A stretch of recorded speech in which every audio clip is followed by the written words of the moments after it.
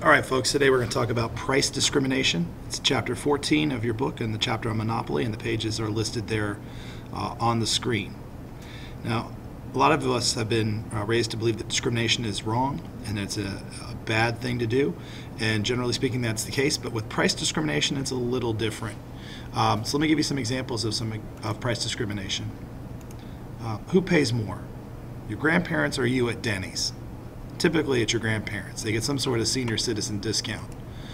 Who pays more at the movies, adults or children? Typically, children pay uh, will pay less than adults because kids usually get either a reduced fee or there's a student price that's less than the normal price. Um, who has to pay more for auto insurance? Is it boys or girls? Typically, it's boys because historically they have a higher rate of accidents. Um, and typically, and when it comes to airlines, the person who bought the plane ticket today pays more than the person who bought it two weeks ago. So anytime that a business decides to charge one group a different price than another group for the same product, we have what's called price discrimination. It can only occur in any sort of uh, market structure where you have control over price. So basically, it can occur in any market structure except for perfect competition, because in perfect competition, every firm is a price taker. So why would a firm want to be uh, involved in price discrimination? Well, let's take a look at an example and then we can see. Let's pretend for a minute that Denny's is a, uh, a monopoly, that there's only one breakfast place in the town that we're living in. And, um, and let's also assume that Denny's marginal cost per meal is $2 per meal and that there are 100 senior citizens who are willing to pay $4 and 100 college students who are willing to pay $8 for their Grand Slam breakfast. So the, the question then that, um, that Denny's faces is what price should they charge? And uh, there, are, there are a couple of different ways they could approach this.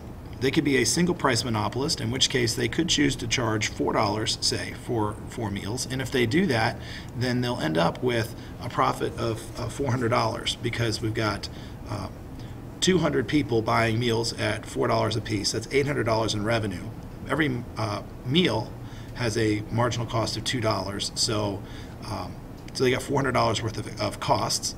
And so um, we see a profit of $400. So maybe they want to say, okay, fine, $4 price not enough. Let's try $8. In which case, they'll be selling to 100 students because they'll have priced the senior citizens out of the market. And they'll end up with a profit of uh, $600.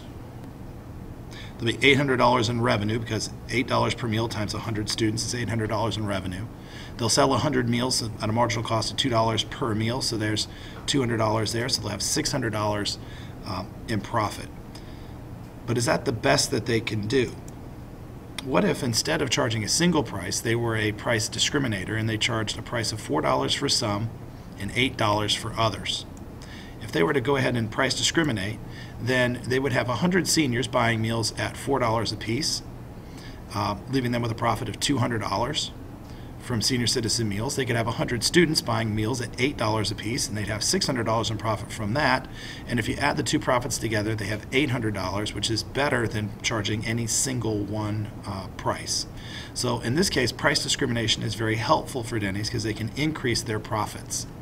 We could look at the situation graphically, and we could say that um, we have consumer surplus to begin with, but if they were to charge two different prices, we would have one group paying the higher price, and this would be their profit for Denny's for the higher priced group. There would be a group paying a slightly lower price, and that would be profit for them as well. And so it would begin eating away at um, consumer surplus as the company picks up more and more profit. And in fact, if they wanted to charge a three tier price, then they would increase their profits even more um, by being more price discriminatory. So, how is it even possible for a monopolist to be able to charge a different price for different groups? Well, it boils down to a couple of things. One is that people's price points are either more or less elastic. The less elastic people's demand is, the more uh, able a monopolist is to charge a higher price for them.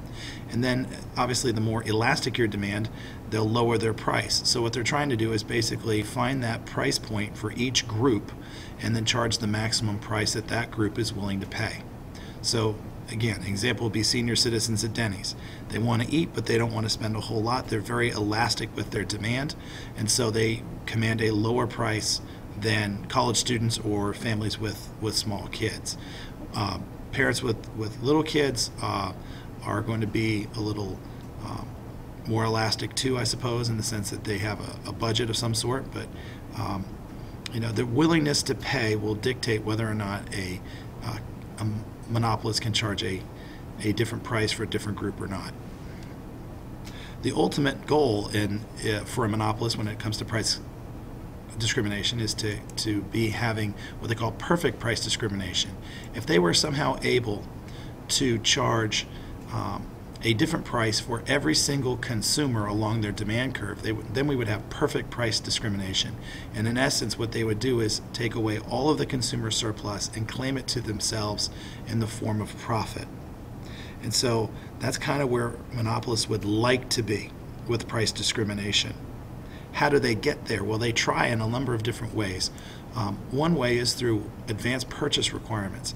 basically, um, you are more price elastic the further out um, you are from an event. So if you need to buy airfare, for example, to take a trip, you're very price sensitive six months out. But if you have to buy a ticket for a flight tomorrow, you're much less price elastic. You're more price inelastic because you got to go. And so um, some sort of purchase requirement that, that gives a discount to people who buy early and then raises the price for those who buy later is a way for monopolists and other um, firms and other market structures to price discriminate and try to maximize the profit that they get. Volume discounts is another. Um, convincing people to uh, purchase more if they're more price sensitive and they're worried about unit cost, they'll buy more things. Um, and if you're not price sensitive, you're just going to go ahead and buy it at the regular price, and that's also fine with the monopolist because they're going to be able to maximize their profit. Or there's another thing called a two part tariff. You often see that at like Costco or Sam's Club, where you have to pay an entry fee to be able to shop at the store uh, through a membership of some sort. And then um, then you purchase your goods. And in essence, what that does is it makes the purchase price of the first good you buy extraordinarily high, much higher than uh, you might have been willing to pay otherwise. And so that helps the uh, the price discriminating company um, to capture more of your consumer surplus and increase their profit. And then as you buy more things, it becomes relatively less expensive because you're spreading the cost of the membership across a number, a number of different goods, and it sort of acts as a volume discount.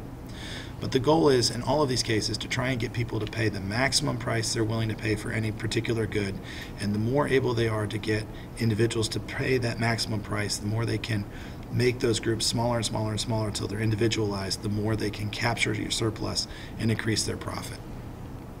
Probably the ultimate example of this in the real world is uh, used car salesmen, where they will talk and and negotiate with you until they get you down to that price that you're willing to pay.